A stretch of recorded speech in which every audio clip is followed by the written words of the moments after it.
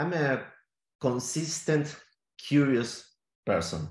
The, the consistency of my curiosity and how I did with that, I think is really shaped in how the practice of being an actor is um, because it's an embodied practice. And when you want to change something in your way of acting, you need to change something in yourself. And there is no way of not doing that.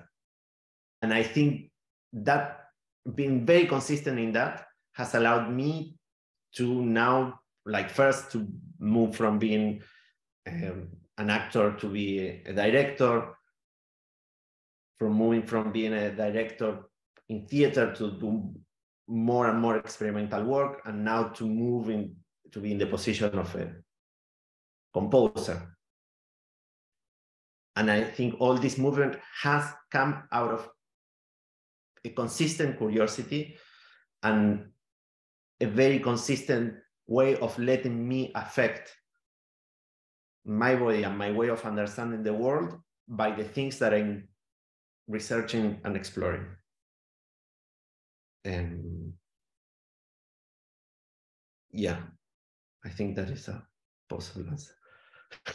But my first uh, significant contact, contact with art, I think I was a child actor. So I started uh, performing and being professional in a way when I was uh, very, very young, when I was nine years old. So it was an after school program in the school. And I just went.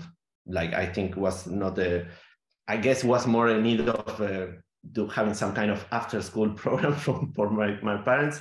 But I really, I really like it. So it was coming from from my desire to go not only that day after school, but then say, ah, I want to go on Saturdays. So that was a special day. And, and also I want to perform and doing these shows. And, and it was in the in my neighborhood. So a lot, many kids from the neighborhoods also were, were there. I think I'm the only one that continues in the arts field, but um, but yeah. I think that was my first significant contact with with that. Immediately doing things, uh, and that for me was very very important, and I think has influenced my way of working.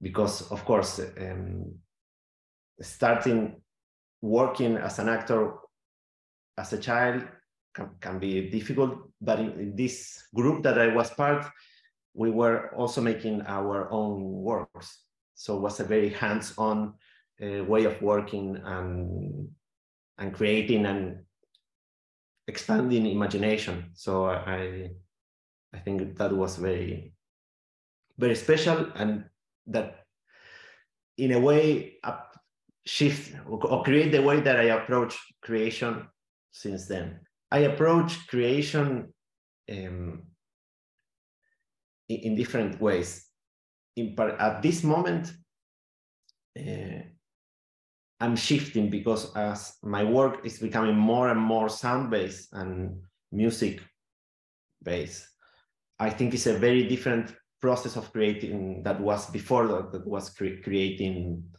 uh, performances and theater shows. And also shifting because I was used to work with um, with an ensemble of actors. So we were always presenting something and already creating something and was a kind of a, a flow. And now I'm becoming more like, okay, I have an idea and a concept and I develop myself and then I, I meet an ensemble. So it's shifting. And more in general, I think it's it starts with a question like I it's something that I want to to know more about. Uh, that that can be a formal question, like a question about aesthetics or or, or, or form, or like in this case, okay, I, I, I haven't, it's more about the subject, the theme, like on how he's, in this case of ways to listen to a river, how, um, yeah, history and politics relates to climate change. And and then the, the music, the sound com, comes as a way as a way of exploring that subject. But it's not always that that process. Sometimes it's okay. I want to create. It's more more about the form that I start. The creation process has, in my case, yeah, I, I can recognize a series of, of steps. Uh, I think a first step at the beginning, there is a moment of um, of fascination with the um, different materials. And then there is a second step that is trying to how this material articulates. It's more about the craft. And, and for me, that is very, very, a very important moment. It's not like, okay, now I have to to wave, it's not only about waving, but in, in the process of waving those elements is where the piece appear and the, the work can shift totally from what I was trying to, to do in the moment of putting these pieces together, the, um, the, the work start to emerge and that can shift totally. And that is a, always a difficult negotiation with myself or the people involved in the process. Because it's like I, I can feel that the the the material is asking things. And my work is to give what the material needs.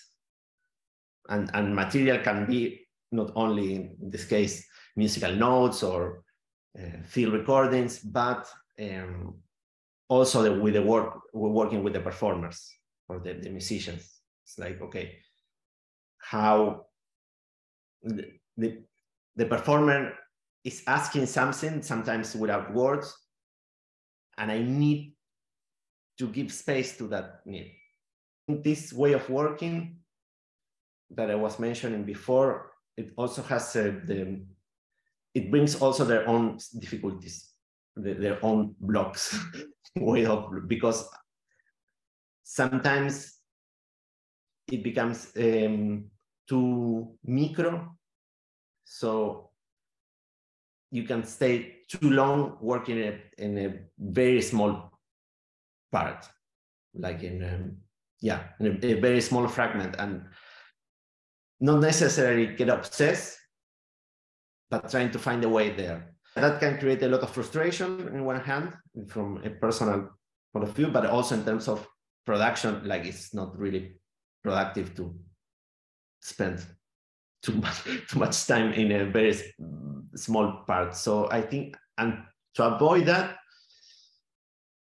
when I can identify that I'm getting there, I think what I try to do is to go back to the structure and to and I think there is always an answer in the structure and and and, and having a, as much as possible an overview and, and trying to understand how yeah shifted from the micro to to the macro. That i think that would be the the easy way of explaining. And then from the structure trying to find the find the way out of this moment of blocking. Blocking moments is sometimes some moments of um, yeah brain exhaustion. And i think that is the most um, blocking thing. I don't have many tools on how to do deal with brain exhaustion or or yeah. Yeah sometimes i try to go walk running or like to have some air but sometimes i just keep pushing that of course it's the worst strategy possible. Sometimes it's very useful also to, to take a break.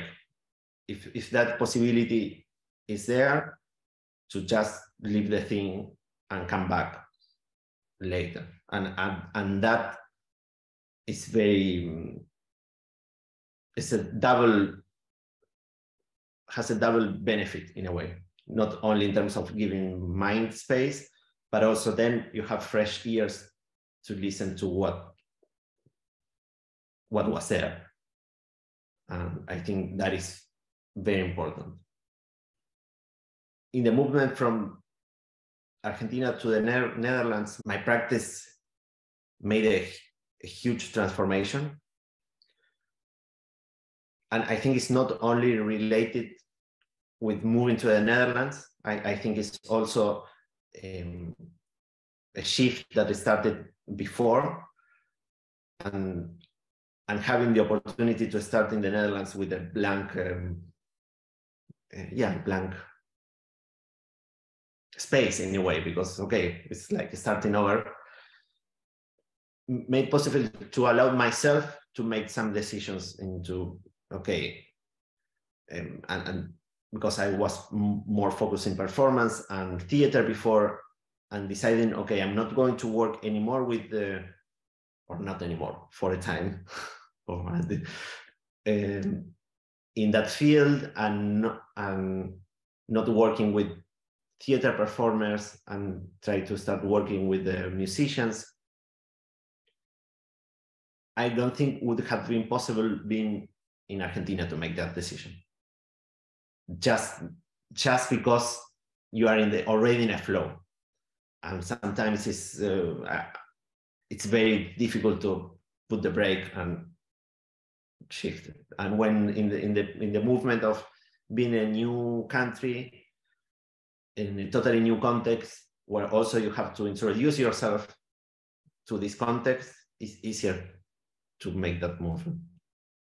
That's how I feel. And also then the pandemic, where for two years there was not possibility at all of doing theater.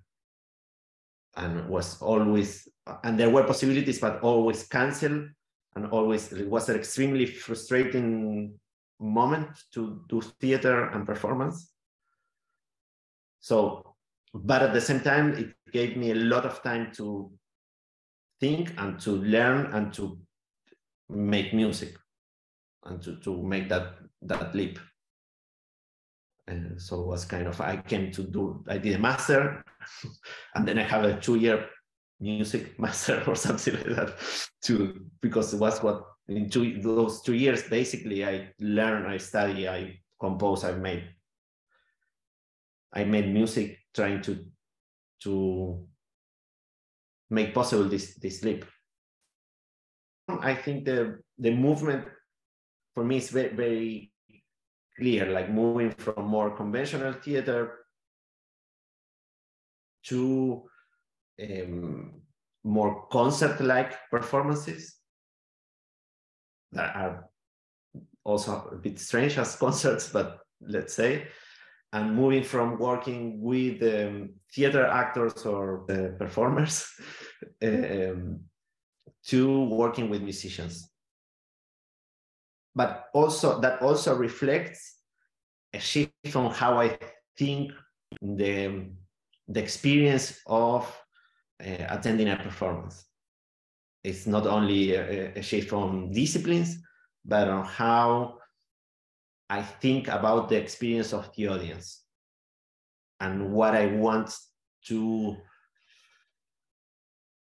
create for them or with them. I found a lot of freedom in this new form for me. Because I think this this um, shift for me was coming in the need was coming from the need of telling certain stories, dealing with certain subjects that I feel that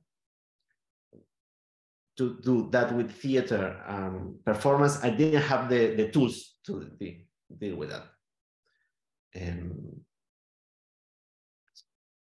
and suddenly I can dive in these very extremely complex subjects and I feel that I have the tools to, to, to bring the audience to these subjects and to have a, um, an exchange about it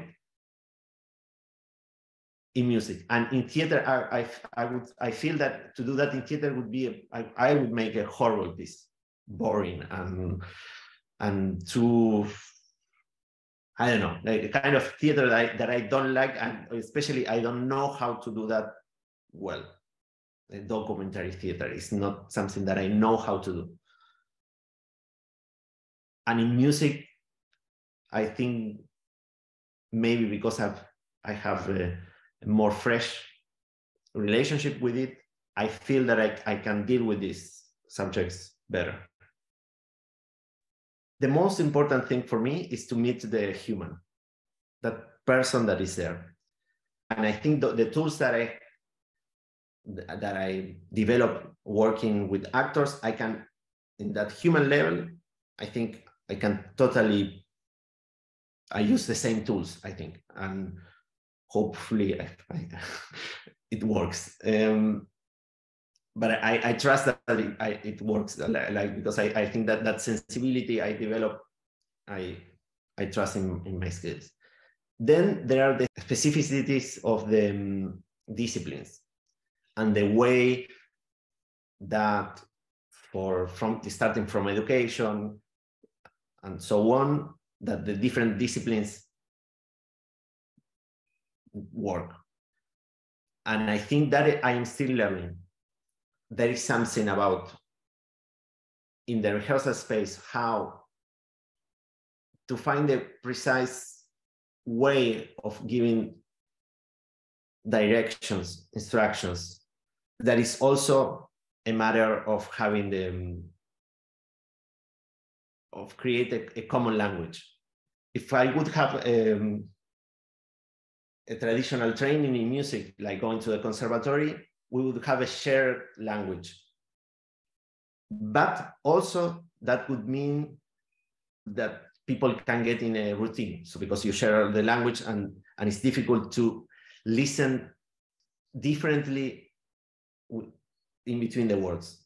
And uh, so I think now we're in, I'm in this quite interesting place where I, I have some common words with the musicians, but also not. And in this failure of communication, exists the potential of listening differently and of uh, also the potential of um, interesting uh, interesting mistakes or happy happy happy failures in a way of because of this miscommunication and to achieve that, for me in theater, was also difficult because it was a shared language, especially when you work with the same people all the time. So you need to find a strategy to create a new language to listen differently. And here at this moment, it's happening more spontaneously just because of, yeah, two different ways of approaching the rehearsal space. Spectral sonic cartographies is the way that I found to, to name a way of um, researching about specific places. How I'm making these cartographies is not only about the, um, the on the one hand, on the human cartography, so how humans live, live and exist in those places, but also not only about how um, nature, with a lot of quotation marks, exists there.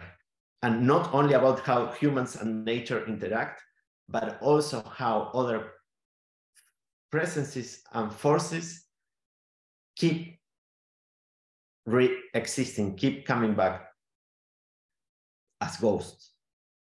And especially how these ghosts reemerge in, in, in, in this relationship between human and nature.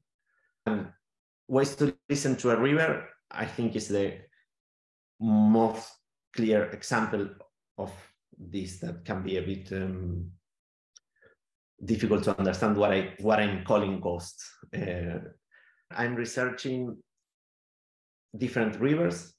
The first river was the river Limay in Patagonia, where I'm from, in the city. Well, I'm from the city of Neuquén, but the river Limay is longer. And in that river, when you start to to listen to it, and when I what I mean listen about listening is not only going and literally listening to it and making field recordings and re-listen to it and what we, we can hear in the sound spectrum. But also start to listen to what is not present in, in that sonic spectrum. So, and but that are operating there. Um, for instance, the absence or presence of birds singing. There are not really a lot of birds in the in a, another river, for instance, in the river uh, Salado in the province of of Buenos Aires, in the the center of Argentina, another river that I researched. If you do field recordings there, there is not a lot of density of birds singing, uh, singing there. And then you start that open a question why I'm listening there and it's quite silent, but at the same time, it's in the middle of the of, of a field. So, and then you, I that open a question. I research why is that happening that, and I discovered two possible answers to the low density of bird life in the one is the use of agrochemicals that affects the whole uh, feed uh, food chain of, of the birds. And in that specific moment where I was doing the, the field recordings, also was in the midst of a huge drought. So you have these um, two events coexisting, and then you have a high, high mortality of, uh, of birds. And then, and of course, that is, is present and is not present in the field recording. It's appearing as, as a ghost. And then that question open another questions that are more like, okay, what how come that agrochemicals are used in particular in this? And how come that the drought has a, such a, an impact in these fields?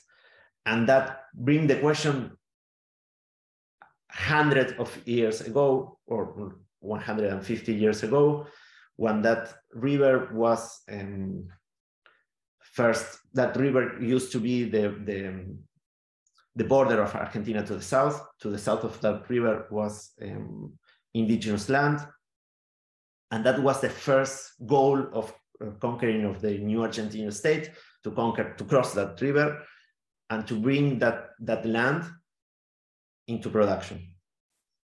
And since the beginning, because this river had its own dynamic of floods and drought, the, the, the, the goal was to control that. And when, so to control that, it, that implied, first of all, the extermin a genocide, killing people. And secondly, 150 years of continuous uh, construction of canals, constructions to try to, to control the river so there are no floods.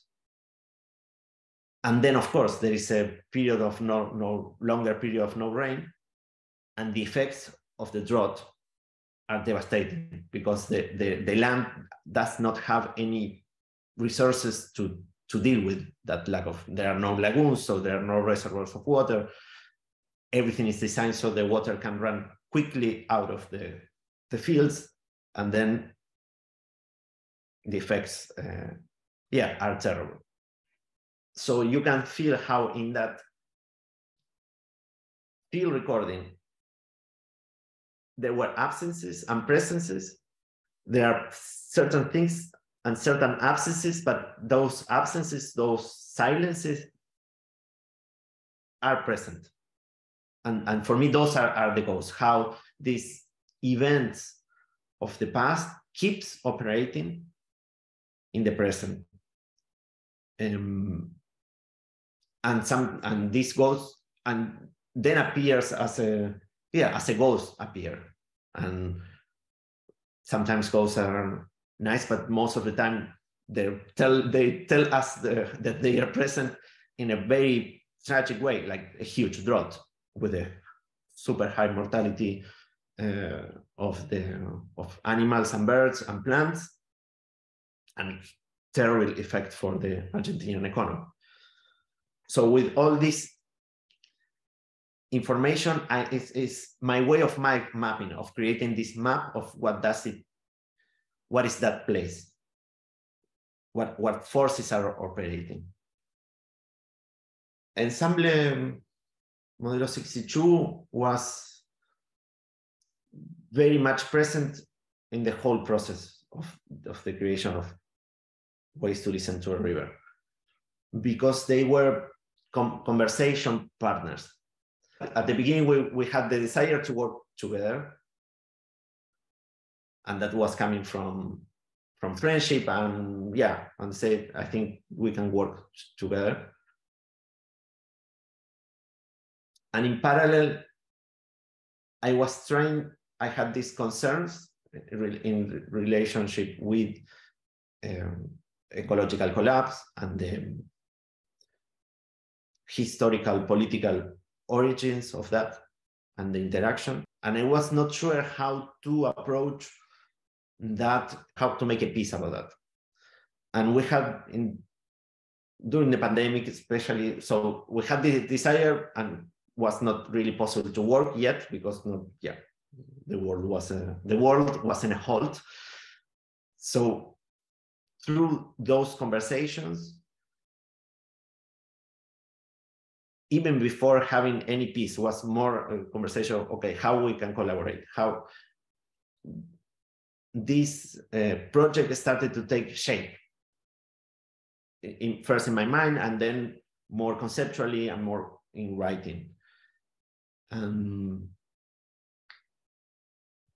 and firstly this idea of a sonic spectral cartographies um, appear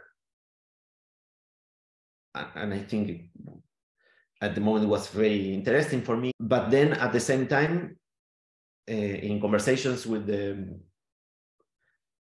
with the with the ensemble, there was a need from them to say, okay, but may, maybe we can be more specific. And that is always a challenging question when you are trying to create something because it's like I mean, you have the feeling that you are very specific, but of course, for the others, that is might not be a reality. Um, so I, I, I came to say, okay, let's let's go to to a place that I know very well. Let's go back there, and let's dive in this story that, that was the first river. And that first river was I, I create the music and the piece uh, not in collaboration with the with the ensemble later like was just my, an autonomous production but very much inspired by these conversations with the ensemble. And then um, yeah we had some working sessions uh, with um, Jan Willem with the cello. Um, we, we there was a presentation involved with that, but then got canceled because of uh, COVID. Um, but then was a very was a beautiful piece, and now we are entering this. Then last year we entered the second phase with the second river with the Salado, the one that I was talking before about the drought, and now we are entering this third phase uh, with the Vecht in the Netherlands. So I, I think that in a different way, but was very similar to how I worked in the past with the, my own ensemble back in Argentina, or ensemble of actors in that case. Um, that the material was coming from conversations within our group. And here, in a totally different way, but also was coming like, say, okay, I have this idea. What do you think about this? There was a feedback, they can come back, exploring further, and so on. We're going to present it in September at Gaudeamus uh, Festival. Is the, is the triptych. We're going to present the three rivers so it's a it's a whole, but are three pieces in the, that are independent. We present uh, the Vecht, where I'm now here. um, the second one is the uh, Limay, the my hometown river, and the third one is the Salado uh, river. That uh, we already made a presentation last year in Head House. Um, so now it's the, the three rivers together. In the show, the, the video is it's very very important. The, like the, the the the the piece or the three pieces are this relationship between the images and the music. The video is um, processed live, so it's like it's performed. It's, a, it's, it's another instrument and I'm working with Juan Fernandez Gebauer, is an Argentinian filmmaker that uh, is based in Berlin. And we have worked together already for 10 years. And he, our way of working is he's alongside the, the process of researching. So we make interviews and we do this listening um, practice and alongside that, he's collecting images and a material, and we, and then that is processed live in a way in parallel. How also the sound produced by the musicians like is processed and then uh, re-specialized. It's a it's, it's a very similar process what he's doing with the with the images. Um, something that we didn't try before was to have a live feed um, for the in this third iteration it's going to be the live feed also. Um, we are still exploring how that will work. First of all, as, as the piece is a triptych, I, I, I'm happy that each um, piece reflects the different spirits of the river or the, the, the so and that will bring the audience very different musical experience. Um, with the Limay, for instance, and because it's so much related not only with the river, but my own personal experience of being born there and seeing the development of, of this region, it has a very emotional content and the form uh, and it's a solo performance, so it's a very has a lot of uh, emotion in there. Um, and then with the with the salado, although that there is a lot of uh, sadness sadness in what is happening in with that river also it has a lot of groove and has a lot of uh, power because these dynamics of floods and drought. So, and it's a groovy river. And so also the the the, the that that piece is very I, I think it's very powerful and brings a lot of energy um, in the room. Like re, it's a really moving, groovy uh, experience and that's why we also put it at the end because it's in a way it has certain darkness in it, but also a lot of energy to to to a lot of movement. It's I think it's it's almost you want to almost dance to it. Um, it's not a dance piece, but uh, almost. it has a lot of power and a lot of um, groove in it. Um, and then with the, the, the the piece I'm working now, although it's not finished, um, it's a very contradictory river. It's a river that is peaceful and beautiful in the surface, but it's full of um,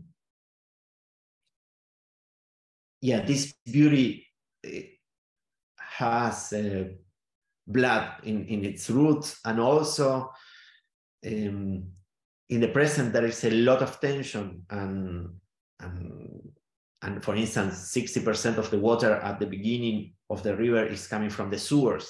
So you see all these beauties but also is coming from the sewers of the city of utrecht. So this uh, piece is very it has these elements. It's peaceful and and contemplative in a way. But also there are certain disturbance present. There's something that brings certain discomfort um, that is how i am experiencing this river now that is I guess it's very beautiful. You want to go there biking and looking to the water, but then you know, or I know now all this history about the river, all the war that was present, also all the I know I don't want to make a history of the river now, but they are present in the space and in the sound and in the there are a lot of tension and violence present there still today. You, you can see traces of, of war and etc. So I think that that is, and we are going to start with that piece. It's it's beautiful, but also unrestful, and I think, yeah, that is what uh, the audience will experience. This conversation, the conversation about how the historical development of capitalism is responsible of the ecological collapse that we are experiencing at this moment is the central conversation. And we cannot have one without the other, I think. And of course,